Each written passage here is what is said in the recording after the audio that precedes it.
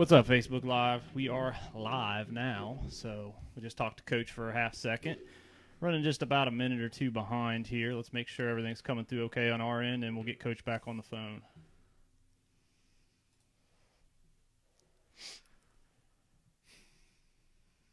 I think I created a new frame too. Looks all kinds of high speed.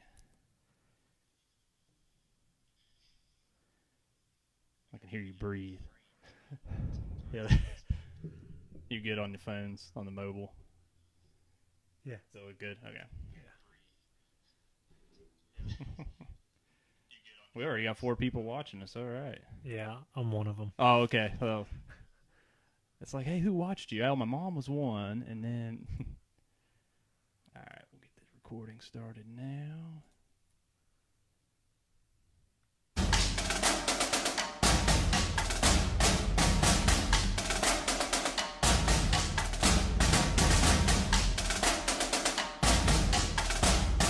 What is up, Newark Catholic fans? This is the Ryan Aiello post-game show. I am your host, Greg Schaefer, here with Will Havanis. What's up, dude? Hey, what up? You, you dry yet, by the way? No. Yeah, I don't think I am either. So, in monsoon-like conditions, uh, Newark Catholic went down last night, 16-14 to Columbus Academy.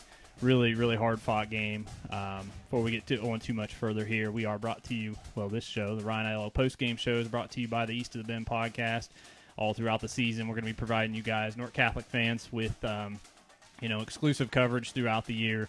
Uh, we really feel like we haven't hardly. I mean, we scratched the surface a little bit. I shouldn't say haven't hardly scratched the surface, but um, you know the monsoon-like conditions, and then kind of figuring out our own way of doing things during the first game. Um, a lot of fun. Aaron Aaron Shook, uh, Newark Catholic legend Aaron Shook, helped us out last night. So that's cool. He's part of the team, helped us out tremendously. His notes were awesome, despite the fact they were soaked. Um, but yeah, so uh, pretty cool uh, getting to help you guys out. I hope you guys uh, enjoy the content we got coming at you.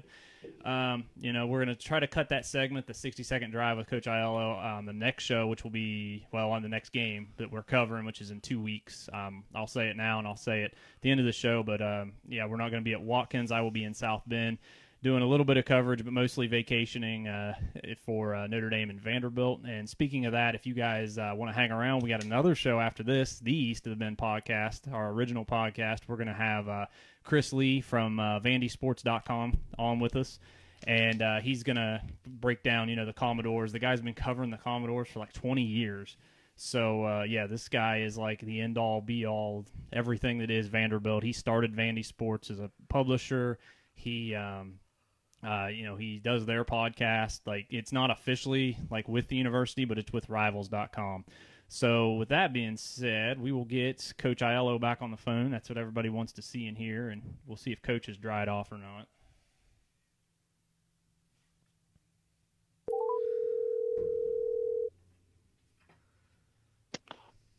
Hello. Hey, Coach Aiello, you're live on the Ryan Aiello post game show. How's it going, man?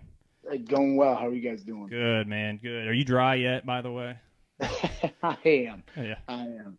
Yeah, man, that was a hard fought game last night, um, 16-14. Um, you know, did the I know we talked post game kind of immediately there about um, you know, you, you know, the wet didn't really affect the game. Both sides both sides had to play on the same field, but um, did Mhm. the did the conditions affect your game planning at all?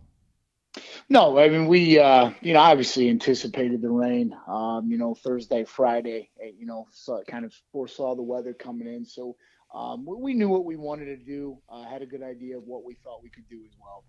Yeah, did you guys uh so did you guys prep during the week? Uh, what kind of preparation did you do for the wet weather coming in? I mean, it, you know, there's nothing really we we did, um, you know, really to simulate, you know, the wet weather and the wind there.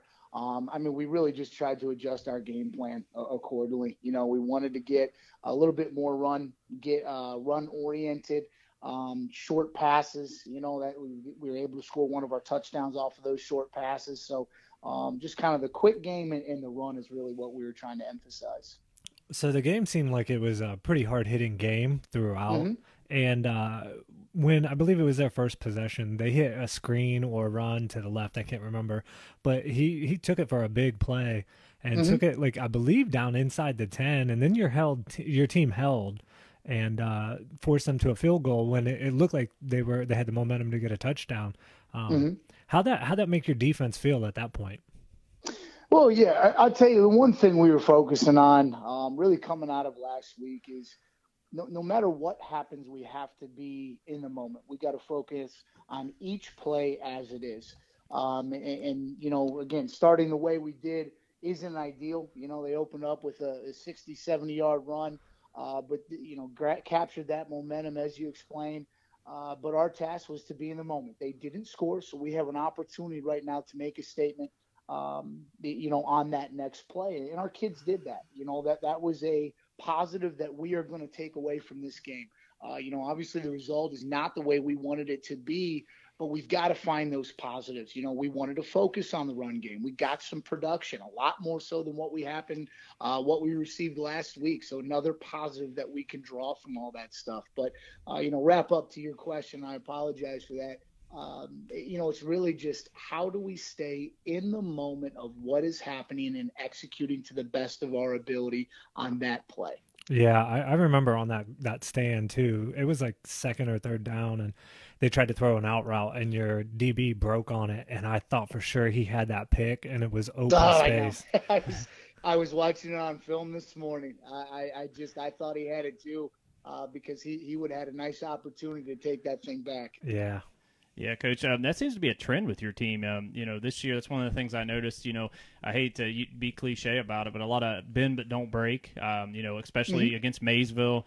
Um, uh, we weren't at Seneca, but uh, it looked like that was a defensive struggle as well, and um, had some three and outs there. Um, and what kind of confidence do you feel in that unit then, um, when you know you're getting that kind of stop?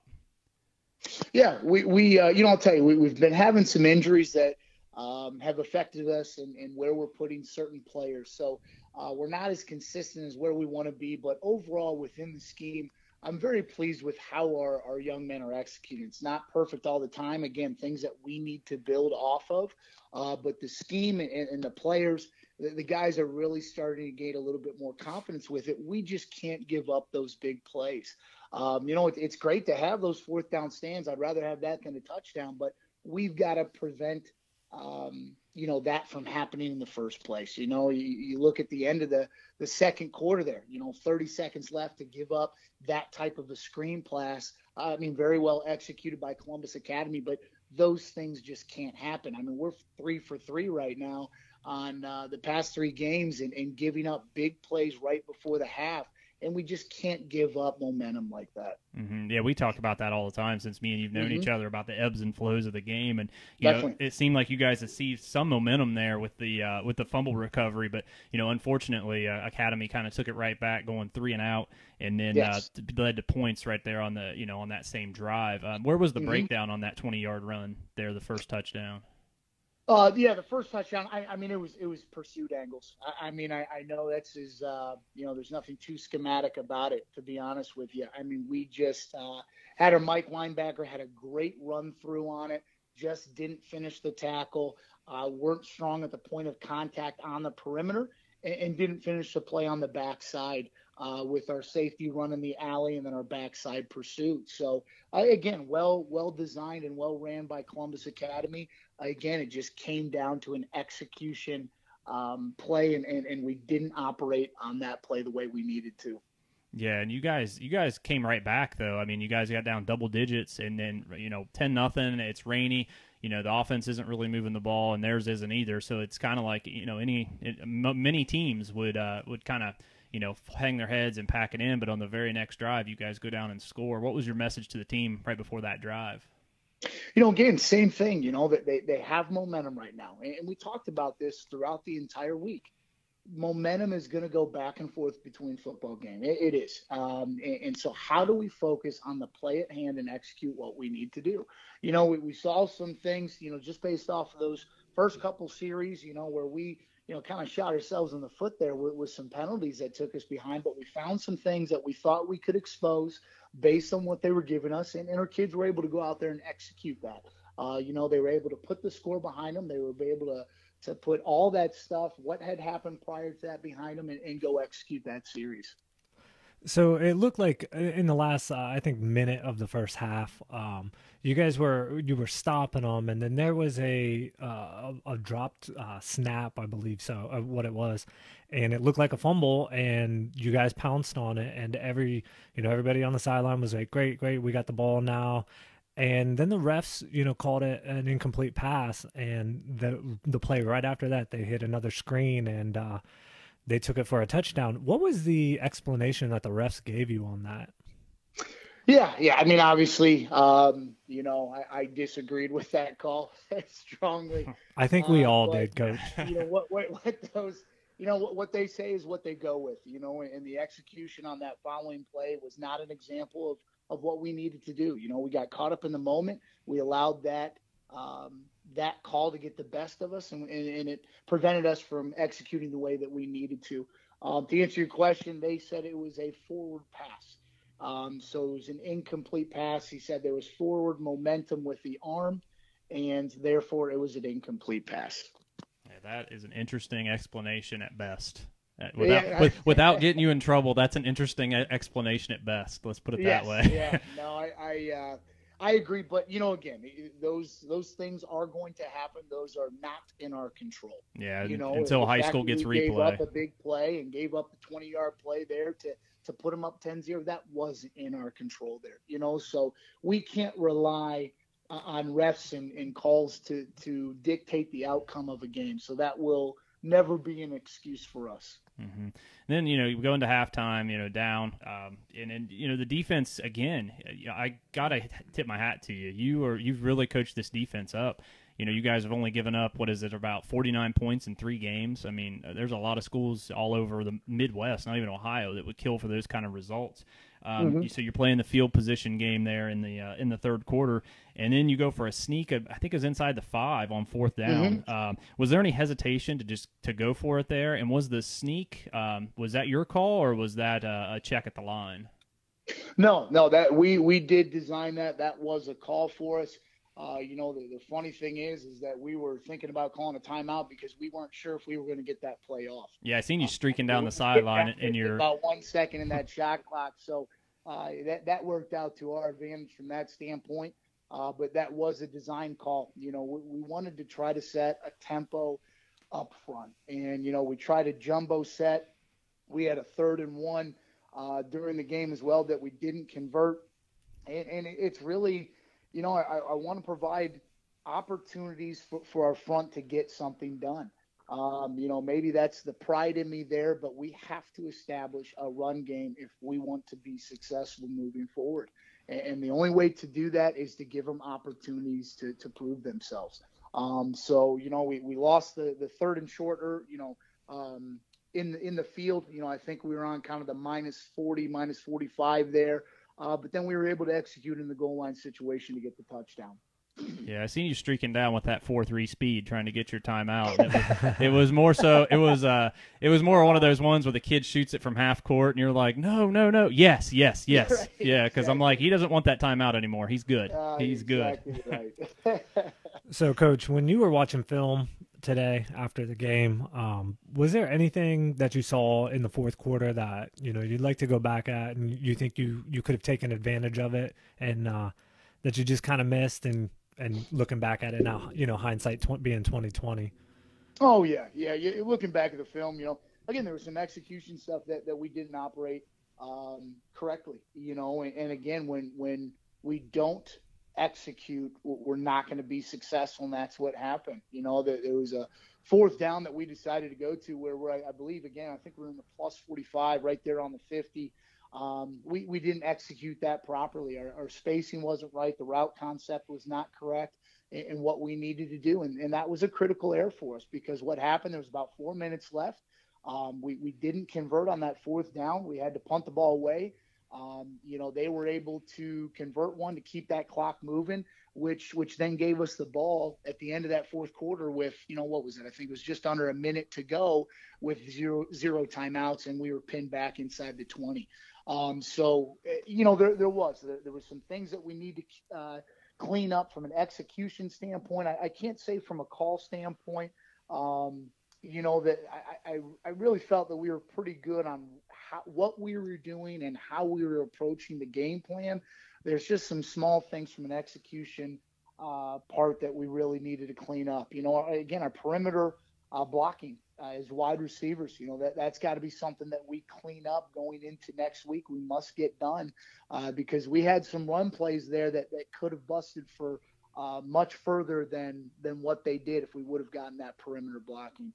Yeah, coach, you mentioned that um, the second to last uh, possession there um, on the plus forty six, and was there any uh, any you know kind of thought in your mind to punt it away and pin them deep, or was that a you know go for it one hundred percent on that one? Yeah, again, I, I was uh, I was pretty confident that the the play that we called again, if we executed it, we were going to be okay. And and again, we, we looked at film, uh, watched that today, and again, this will be a learning point for for our young men moving forward and, and how important understanding the play call is, what their job was within that play call is.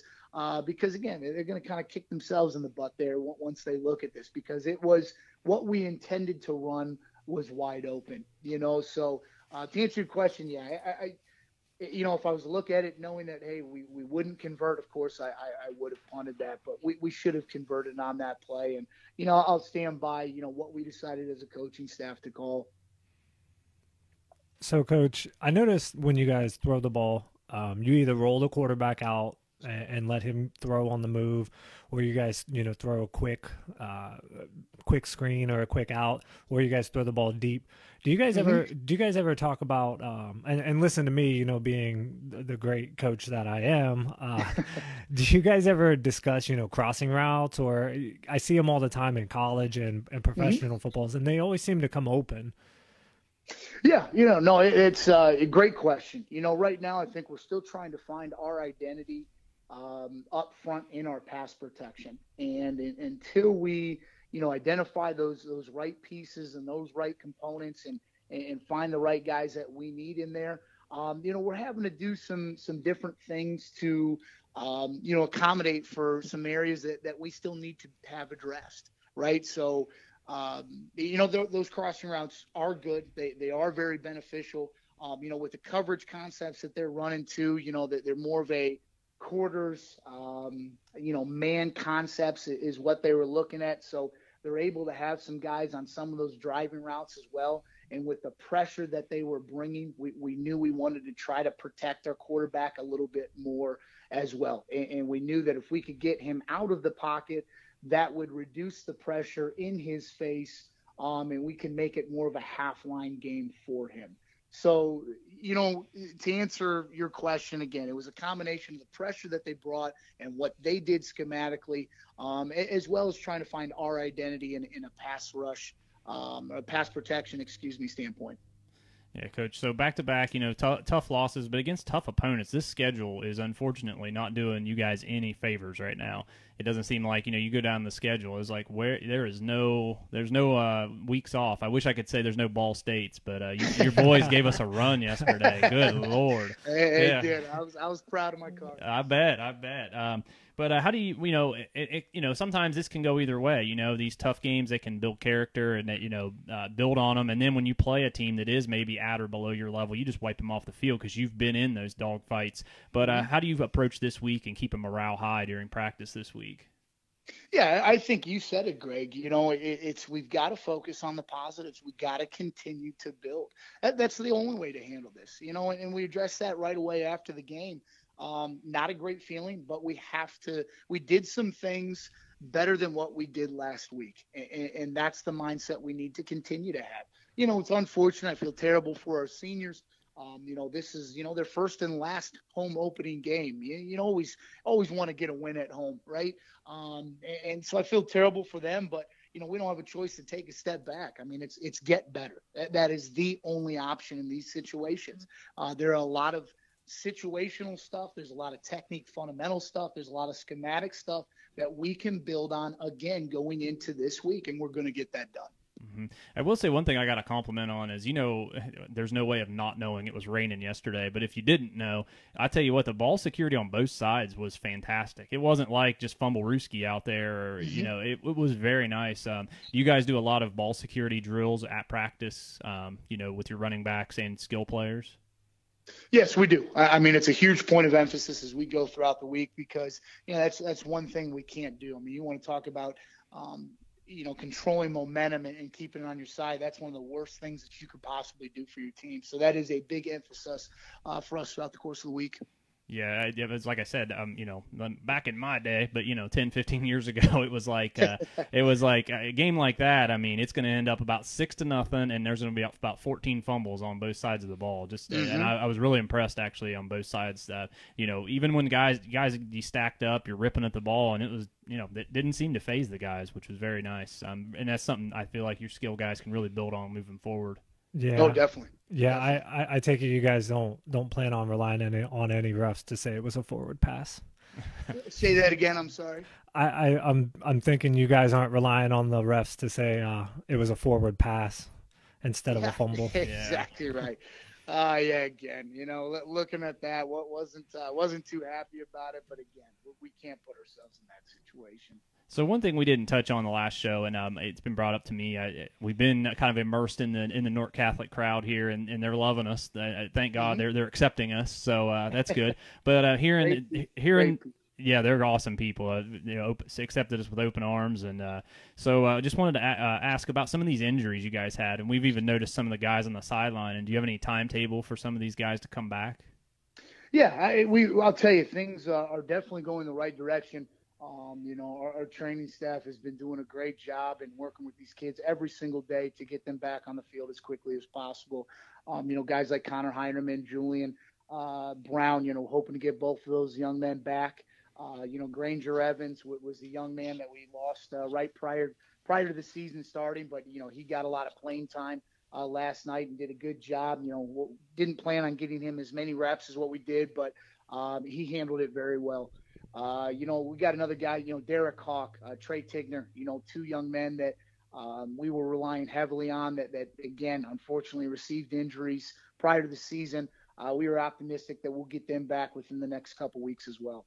Very nice. So, um, you know, on to Watkins, as somebody just uh, posted on the Facebook Live feed here, and that's kind of where we're at is uh, on to Watkins, and they've had some stiff competition themselves. You know, outside of West, yes, well, outside of Whetstone, who's kind of perennially been, uh, you know, not not very good, always kind of down. But I mean, Walnut Ridge and uh, Chillicothe, and you know, Watkins is a significantly bigger school than NC. Mm-hmm. Um, so you know, they're stepping up, and not only they are they stepping up to D two, or they're in D two and they play D two schools, but it's like, man, they're playing some of the better schools of D two.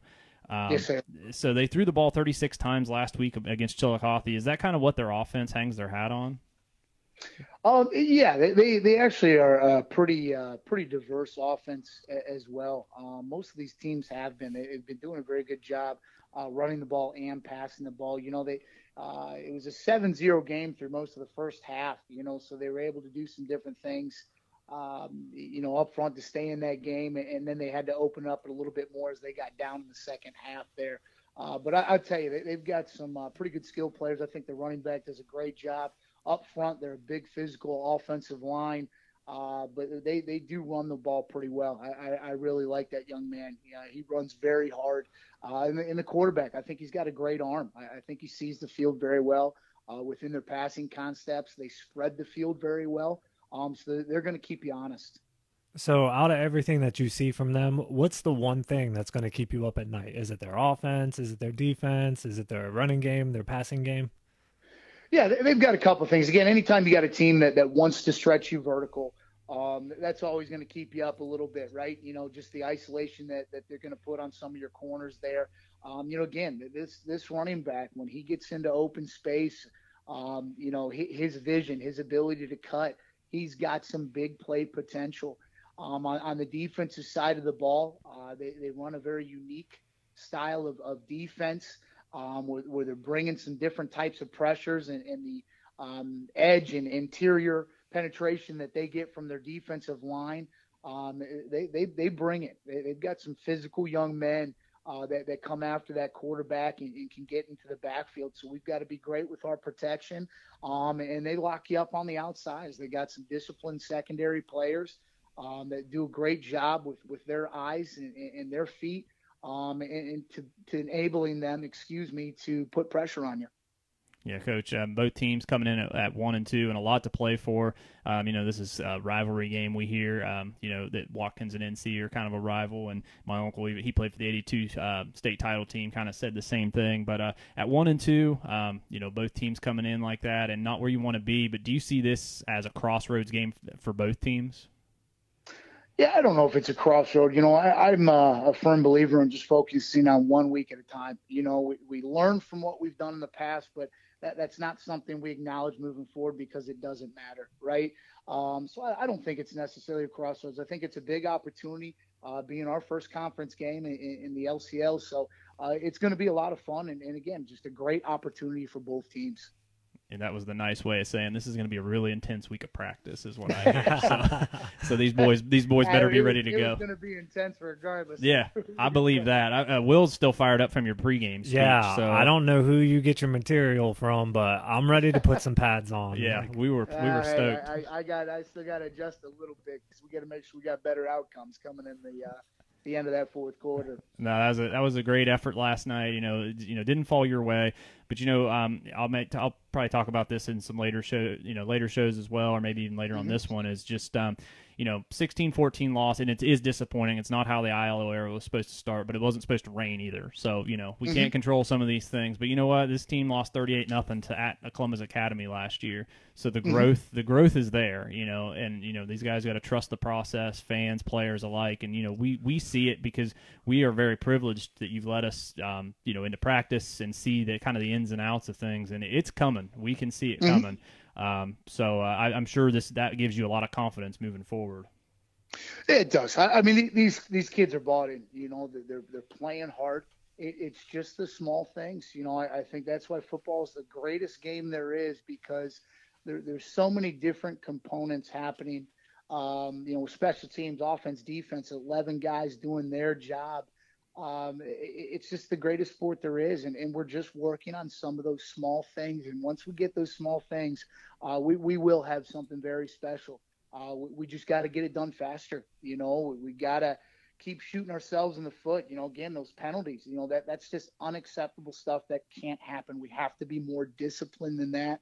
Um, you know, some of the execution up front. You know, again, I talked about the blocking on the perimeter. Those are just small details uh, small fundamental things that we have to do right. Um, and, and, we will get there. Very nice. Yeah, we're looking forward to it, Coach. Unfortunately, this will be our last week out. Uh, I'll be up in up at Notre Dame this week, um, doing a little coverage of Notre Dame Vandy, but mostly vacationing. But I got a couple hookups up there that I'm gonna I'm going to try to hone my craft. I'll try to be a better interviewer. I promise. So. Oh no, hey, that that'll be a lot of fun up there. Yeah, I was looking forward to it. So, Coach, uh, we will talk to you. I'll talk to you when I get home. Um, I will call you next Sunday. We'll uh, we'll uh, off the air and we'll just talk a little bit about what happened during the game and keep up with some yeah, things. Um, uh, shoot me an email though. I need that roster. I know I'm a pain, but I need the roster. Oh no, I, I will get it. I, I apologize. no, don't don't apologize. Uh, trust me. Yes, that should be at the top of your priority list. So we, no, I'll, I'll get it to you guys for sure. Thank you, sir, and uh, you have a great rest of your weekend. Good luck this week. Uh, kick them boys in the butt for us. So uh, and get them Sounds get them good. rocking and knock knock the Warriors out this week. Thanks for your time yep. again, Coach. Sounds good. Yeah, thank you both. Really do appreciate it. Mm-hmm. Have a good one. Bye. Right, take care. All right, guys, that is this week's edition of the Ryan Aiello post game show.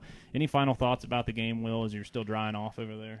yeah, I think I'm still wet right yeah. now. Um, yeah, I just I feel like that the kids, like he said, they really are buying in. Um, you know, you see it in the fourth quarter, even in, in this game. You know, they're down, but they're still you know they're talking on the sidelines getting excited somebody makes a play they're all in it you know guys cheering up their their buddies and everything like that. It's not like they're just sitting there like, oh, here we go, it's another loss. Mm-hmm. Yeah, I mean that's something you know we've been invited to, and not to call anybody out. I mean, it, take it ever how you want to, but we were invited to all kinds of practices um, leading up to some of our coaches' special shows. We only did three of them, um, but uh, you know we, we had some people want us to come out that we weren't able to get on, but we we showed up at some practices, and you know what? We didn't see at some of these practices what we're seeing with Newark Catholic and what we're seeing on the sideline and the mentality, and it's there, and you know if you know we don't stream live pregame speeches, we want our um, the coaches to be able to speak freely. Um, we don't want to worry about that. We do get did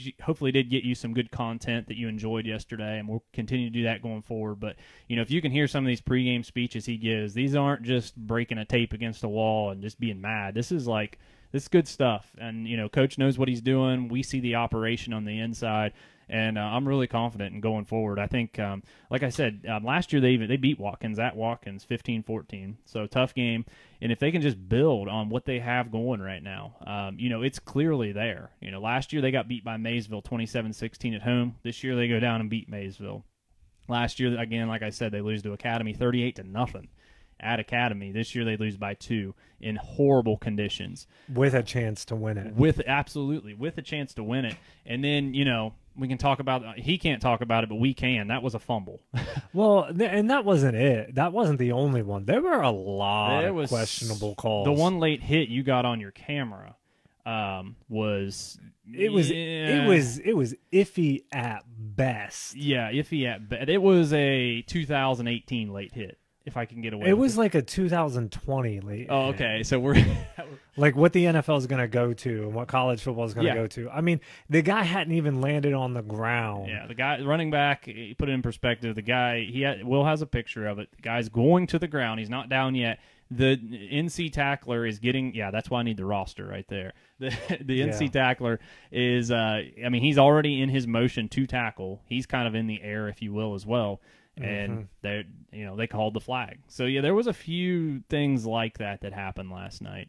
Um, so yeah, great game. Um, unfortunately, didn't come out on the right end. 16-14 again. Uh, Columbus Academy takes it. A hard fought battle. Um, and these are bigger schools too. Um, no excuses, but um, you know, Coach Aiello is going to get these guys on the right track.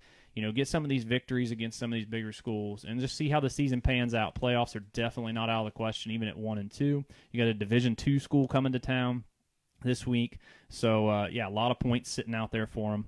So uh, really excited about that. It should be a lot of fun. Yeah, um, once once these kids just learn how to win. I know it, it's hard to say, but if you've ever played sports before, you you know what I'm talking about. When you just learn how to win, mm-hmm. these guys, man, watch out. Yeah, yeah. Once they learn how to win, there could be there could be some upsets on the other side. Yeah, because I, I heard amongst some people that there's some games. Oh, we're going to lose that one. Ah, not so fast. Not so fast, my friend. Yeah, even if you look at so my pencil here. Even if you look at uh, Columbus Academy last night after they shook hands and they were excited. It wasn't just like, oh yeah, we came out, we got another win. Yeah, it was like it was almost like they upset. Yeah, absolutely. And, yeah, and they're a bigger school, so you know that's that says a lot. It does. That says a lot. So again, uh, until next week, let me reset this because that was way too quick. Uh, let's see. Next week we're out. No shows at all next week. No East of the Bend podcast. I'm actually I'm taking a vacation. Actually, um, I'm giving this guy a vacation as well. It's actually his daughter's birthday. That after the next show, I hope you guys stick around. Chris Lee from VandySports.com is going to come on with us, and uh, we're just going to interview him and break down. We're not talking about that Ball State mess yesterday. We're going to talk about Notre Dame and Vandy. Um, and that's pretty much it. But hopefully you check that out. But we will be again at Licking Heights in two weeks. I heard there's some girls you may know cheerleading at that game? Um, yeah, that's going to be an interesting game for me. Yeah, it's going to be an interesting game for Will. So, uh, yeah, my my daughters cheer for Licking Heights uh, for fifth grade and third grade, and uh, I think this is Licking Heights' homecoming game. Oh man, this so, is going to be fun. Yeah, I, I be, might. I, yeah, I might. I don't know what I'm going to do. I'm going to do like one of those those parents that has like this split shirt. Yeah, one of each. Oh, you're going to Brady Quinn, uh, Brady Quinn's sister. And I yeah, it. yeah, yeah. All right, guys. Two weeks from now, East of the Bend podcast will be um, covering the game at Licking Heights. That's a Friday night at 7 p.m. Um, and then on Sunday, two days later, you guys have the schedule. Let me bring it up before I let you go. That is the 21st is the game at 7 p.m. The 23rd, Sunday at 5 p.m. We will be back with uh, the Ryan Aiello post game show. Until next time, go Wave.